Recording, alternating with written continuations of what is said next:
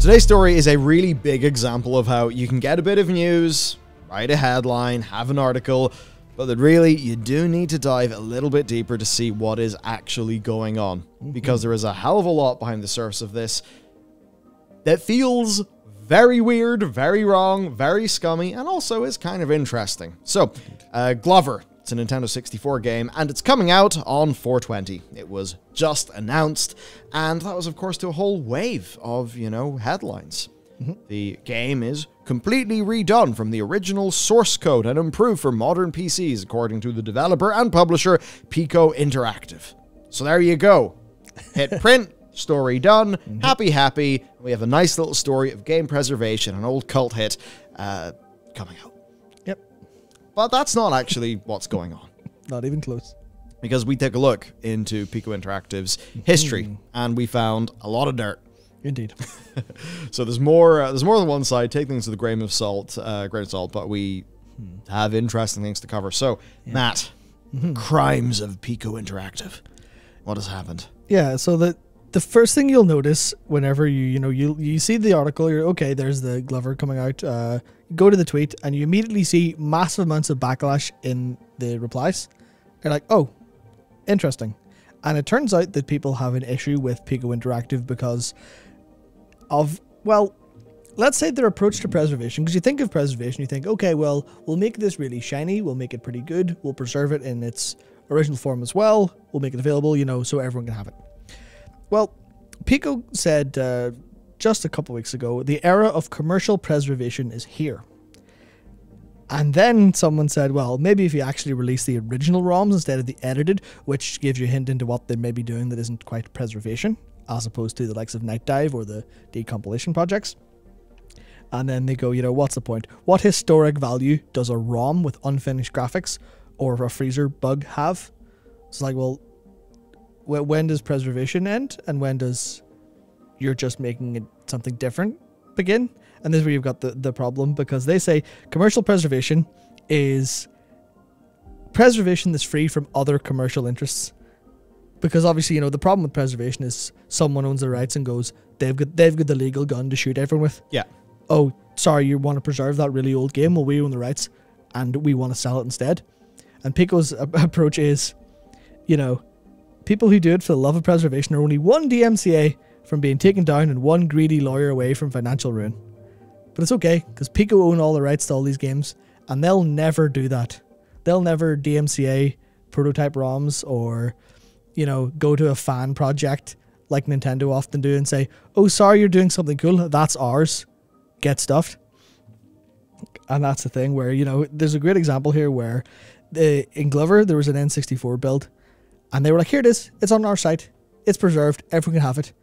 But anyone knows, you know, it's just, it's on a website. That doesn't matter. Website goes down, it's gone. Server gets attacked, gone. Anything gone. The only way you can do preservation with digital stuff is proliferation. That's how it works. And then someone's like, okay, I'll just rehost it because you're finding this being preserved. Like, no, we want it on our server only. Please remove it.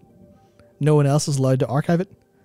And that's like the philosophical issue that starts the whole debate, which is they're just going, they're they're taking the name of preservation and going, no, that's not what we mean. We mean we get to make money, no one else gets to preserve it. It's commercial preservation Yeah. Yes, Exactly, and this- exactly that.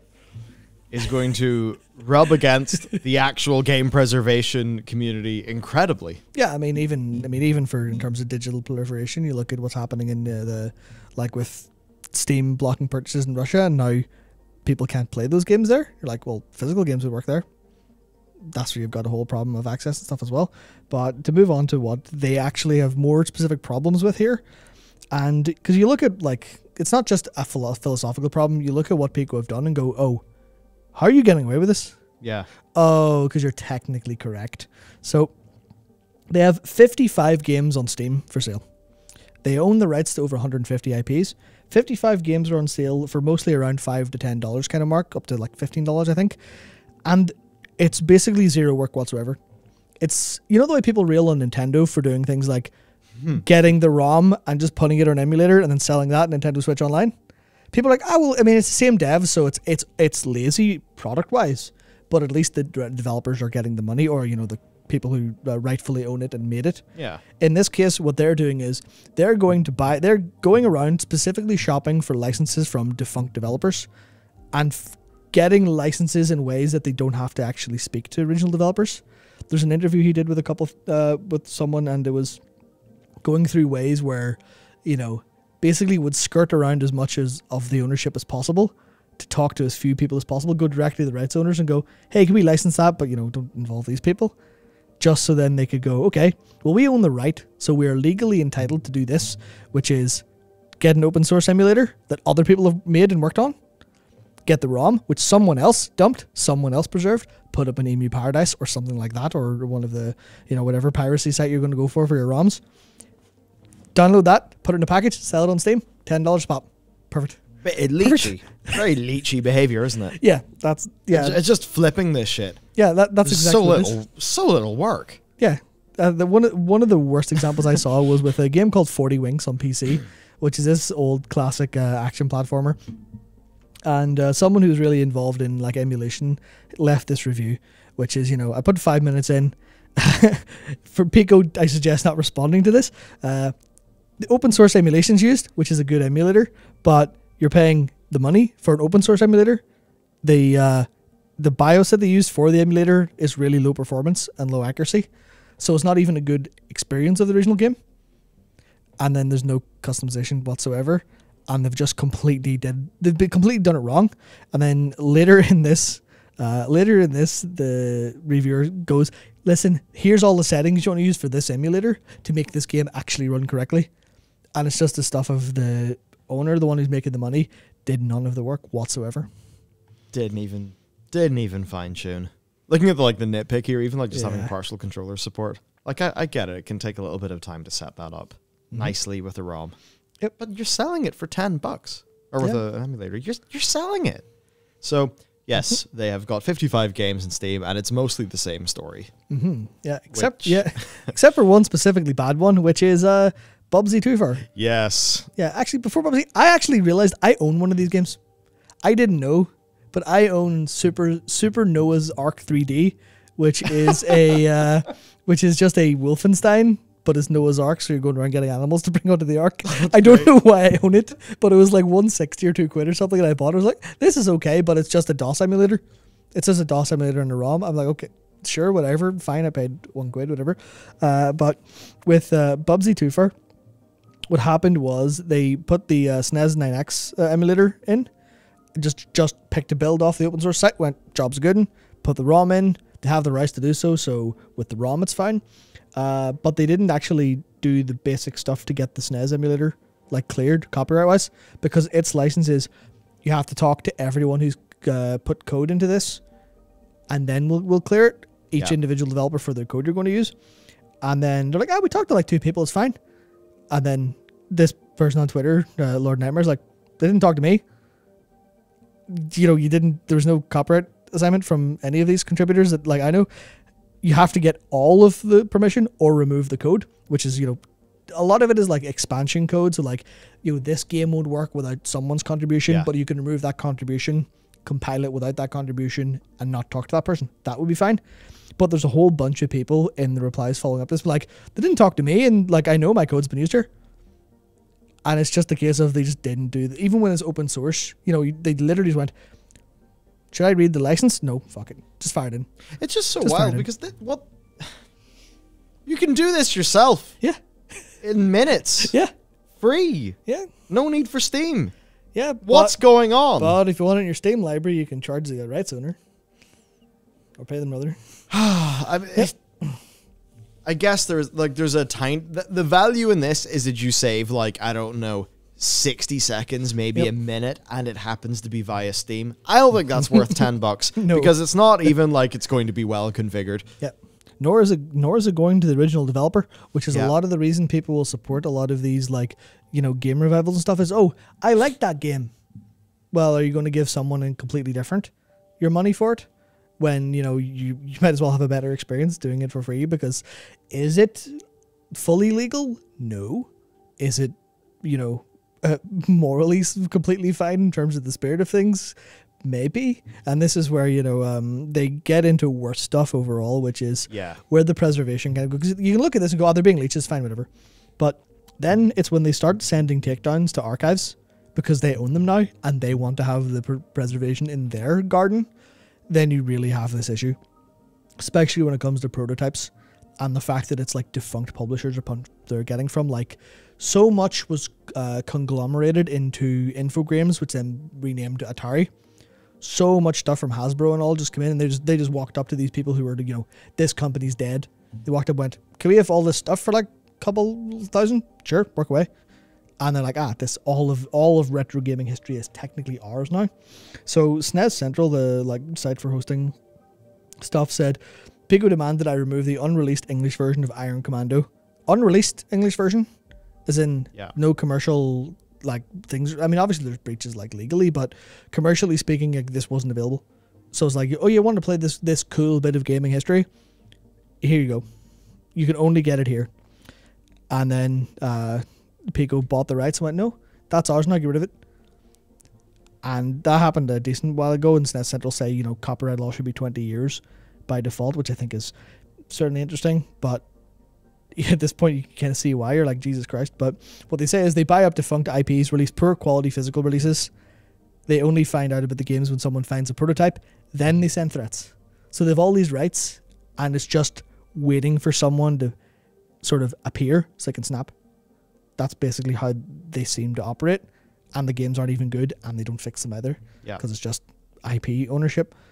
And then Forest of Illusion. This was an interesting one where there's a Glover prototype that Forest of Illusion had up, and then Piko were like, "That's ours, remove it." And then Forest of Illusion's like, "No, this literally isn't ours. I've done a whole bunch of work on this prototype to make it playable. This is nothing to do with you. It's the same right, but like this isn't this isn't going to Im- impede with your product." And ultimately, this ended up being a uh, being a misunderstanding, and they're kind of on good terms now. But generally speaking, it was Piko going, "That's our game. We bought it. I don't care if people get to play it. They have to play it on my terms." And that's how it came across real bad. And that's it's just it's really annoying whenever people like people are trying really hard, like all these community people for no profit, and then someone comes along with the with enough money to buy rights in the first place and stamps all over it. Yeah, and it's not like they're even funding anything interesting Yeah. with it. Like okay, There's some a- of the physical there's a releases, tiny bit of that, sure. yeah. There's a tiny bit of that we'll get Um, into. like this stuff in Steam. yeah, It's just scummy. yeah, There's there's no That's value for consumers. It's it's Yep. rubbish. Yep. Um, I mean, for the, for the user sentiment, like Yeah. a- again, if, if you just go through, Yep. Piko has walked into a place where they are, or he, I suppose, is not Yep. welcome at all, Mhm. and uh, yeah, just just continually made every single wrong move. Yeah, so you kind of from to go back to what we are talking about at the start in terms of like the I believe it was um uh, it was GameSpot I think was the only place I saw had actually reported as a footnote that people were displeased with this. But every other site that I saw was just incorrect. Oh, it's Glover's back, sweet, cool. And I'm not going to begrudge people specifically for just kind of going, ah, here's the headline. But it's like when it comes to consumer value, I think anyone who wants to buy Glover should probably be aware that people in uh, people who have been involved with the you know I don't know why there's a Glover community, but of course it's video games. There's going to be people love retro games, people love that stuff. But whenever you have a lot of people say, "Do not financially support this release," Piko Interactive is one of the biggest obstacles against actual preservation. And you're like, oh, that might have been helpful for people to know, Yeah, especially when it's like, ah, there's a cute little game for a fiver. I played that when I was younger. I wonder. He's like, who's getting the money? I think we now understand what the era of commercial preservation actually means. Yep. Because it doesn't seem like there's really much preserving going on with this commercial preservation. It's it's just gathering IP and exploiting it. That's what it comes across. uh, Absolutely. Yeah. I mean, th- this is the thing is like the comparison I definitely want to make is you know what happens when a community has freedom. What happens whenever a community is operating, you know, isn't actually under attack by you know the the law.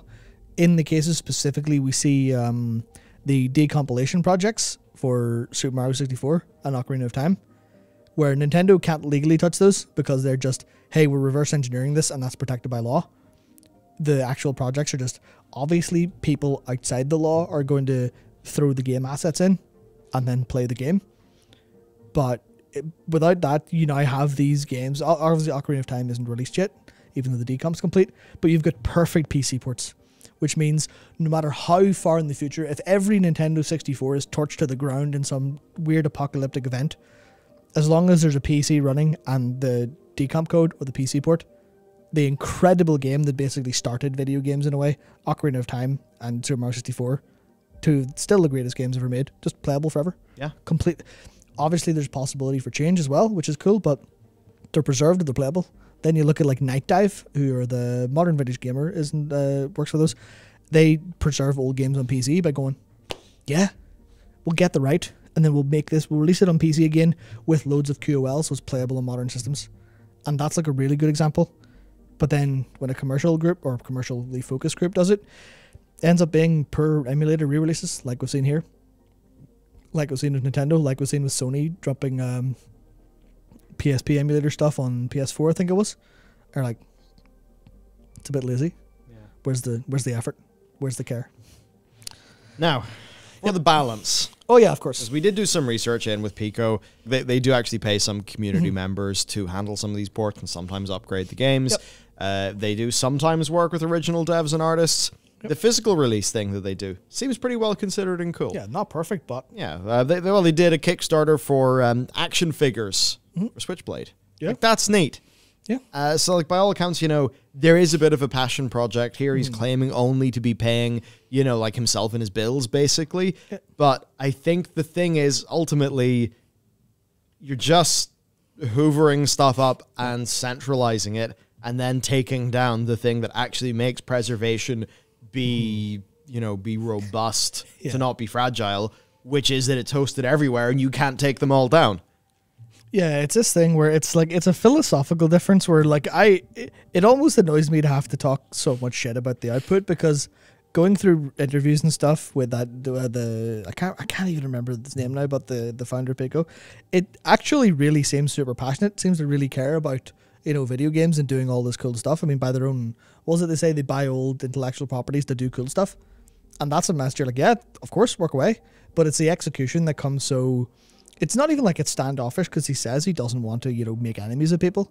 He just does by virtue of what he's doing, which is this really awkward case of there's no there's no room in preservation there's no room in the future of the history of video games to gather all in one place and hoard it Yeah. even if there's some reason it's just that's not people want people want uh, f- games to be available for everyone to play forever because otherwise you lose this you know you lose the bedrock of this incredible industry and you're selling that for 10 bucks in Steam. Yep. And there's no difference from just grabbing the ROM. yeah And You're, you're just doing it, shipping with an Yeah. open source emulator. at least make a good product Yeah, like uh, that's it that's the bit where it feels, that makes it feel like a scheme more than a product. yep And I think that's why it particularly is going to sting. It's like, oh, cool. The thing that I was passionate about has been hoovered up and is now part of a scheme. Great. Yep. So Yeah. that's that's I think that's kind of it for today. But I would like to just say I would really hope that uh, outlets start to look at the first replies to tweets whenever they're on critically reporting stories, because Yes. that because I I was genuinely shocked that it was GameSpot of all people had a footnote going ah people are a bit upset about this, whereas no one else mentioned it at all. Well, got to pump out articles. I think that Indeed. just ends up, you know, sort of Indeed. just kind of ends up going down like that. But anyway, now you know, and uh, I would say probably other means of, of getting these games that don't exactly involve supporting this uh, commercial preservation that really seems to be good for nobody other than the commercial preservers. Yeah. Yeah.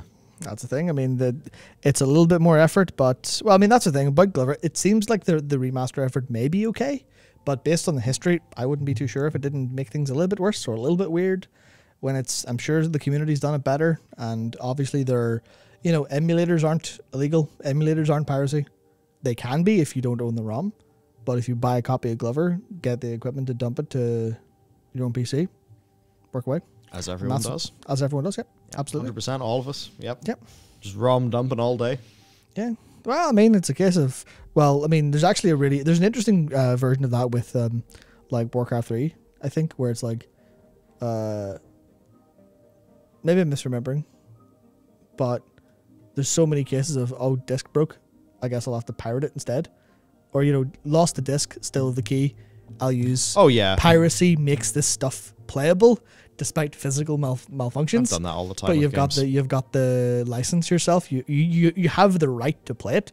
You have the right to own it because you paid for it. But things have gone wrong and you can't. the word and the spirit of things can be Yeah. quite frustrating with digital, I suppose. Indeed. But anyway, that's it from us. Let us know what you think, and uh, yeah, we'll see you next time.